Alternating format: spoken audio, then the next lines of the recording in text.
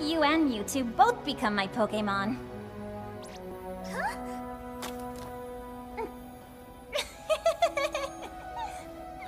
well, you think about it, okay? The fuck you say to me, you little shit!